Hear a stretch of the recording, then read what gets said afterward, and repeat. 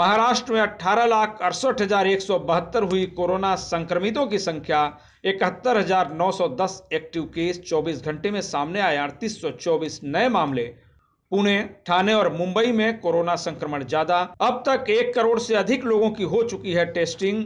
BJP ने सरकार को नियंत्रण में बताया फेल। लेटेस्ट अपडेट और खबरों के लिए टीवी वन इंडिया को सब्सक्राइब करें और नोटिफिकेशन पाने के लिए बेल आइकॉन को दबाना मत भूलें।